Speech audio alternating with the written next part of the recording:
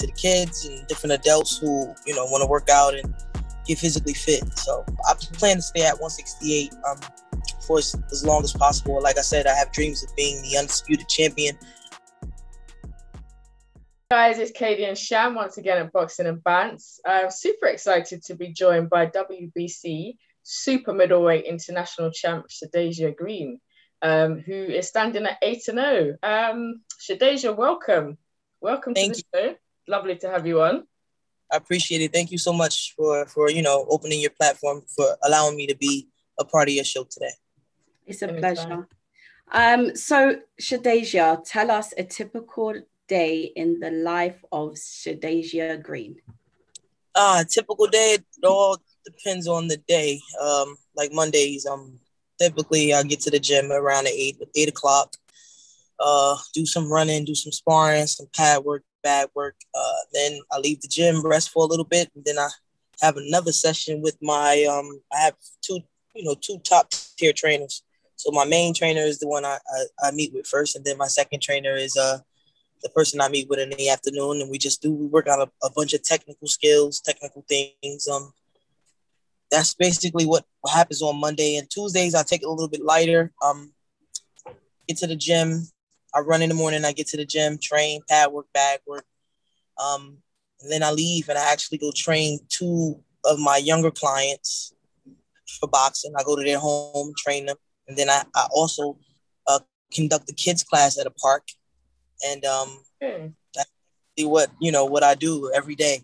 So, so you train, you train people as well as box yourself. Yes, yes, um, yes. When I have the time and if I'm not really, really, you know, too caught up in what I'm trying to do. If like say if I have a fight and I'm cutting weight, then typically the training slows down. But um I try to, you know, reach back and give back to the kids and different adults who, you know, want to work out and get physically fit. So that's what that's what they basically, you know, consist of. Mm-hmm, mm-hmm. Good for you. So um they call you Sweets. Yes. Where does that come from? Um, it's the way I fight. Um, one of one of my uh, trainers who's still around today, you know, one of my very first trainers gave me that name. Um, he actually had a sweet action, but I like sweets. Um, it's, it's you know, never to compare myself to Sweet Pea, but you know, we saw him in the, the ring, very yeah. fancy, yeah, technically gifted, and and I'm I'm you can say that my skills consist of that as well. So um, I like my nickname Sweets and stuff because I'm actually sweet out of the ring too. I'm not, you know, I get in the ring, I'm a total different person, but outside of pool and I'm sweet. So yeah. my name it subsides me a little bit. Mm-hmm, mm-hmm. It's a nice name, nice nickname. Thank you. I'm um, Shadasia, eight and zero oh this far. What yes, do you, who do you think will be your biggest test in the super middleweight division?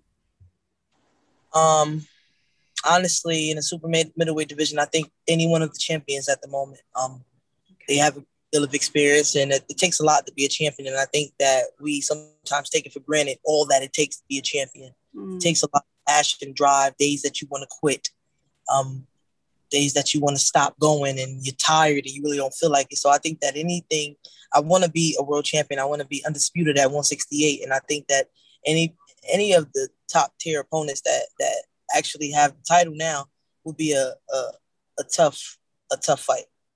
Mm. So, congrats on your win back in uh, May against NG Barcas.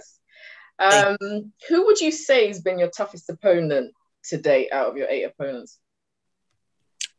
I think um, it had to be my third opponent, Irez Hernandez, mm-hmm. Ais Hernandez. Um, it was a it was a test fight. It was um tough grueling. Um, it was my first time actually going six rounds in a professional bout. Um, I kind of consider it as my first pro debut, but um, it, it taught me so many things, and uh, it pushed me right back into the gym to work on all of my flaws and just perfect my craft. But I would have to say that that was the tough, that was the toughest fight I've endured in my my professional career. Mm, mm. It's interesting actually. I look back over your, I think it was a second fight, Jessica Robertson, I think it was, and it was a round four um, knockout. It was pretty brutal, pretty yeah. brutal, you know. Um, and I saw you kind of gave her a little hug at the end because she looked quite, you know, out of it. Yeah, yeah, yeah. yeah. But but no, always, thank, both get out of the ring, you know, safe and sound. You only want to hurt them for that moment, but you never want to change their lives forever. Yeah, so that's it. And it shows great sportsmanship. So yeah, yeah right. course. So um you moved down to super middle um, from heavyweight. What was yes. the reason, and do you plan to stay at the current weight that you're at now? Uh, yes, of course. I mean, um, I was heavyweight in the um, amateurs. I was on the USA team, and uh, even then, it was really, really tough getting bouts at that weight because not you don't see a lot of heavyweights walking around. Mm-hmm. Um, I made the USA team, and I realized that they had heavyweights in other countries, and so I went to what what was considered my Olympics um, as a. I'm sorry, guys. I went.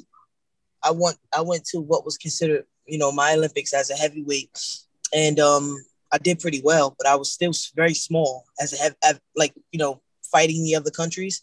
I was short, so I, I wanted to make a change, and I wanted to commit myself and dedicate myself and do something a little bit more um, tougher than what I was doing, and that was basically being able to eat the correct foods and, and really, you know, get cut up and really focused on fitness.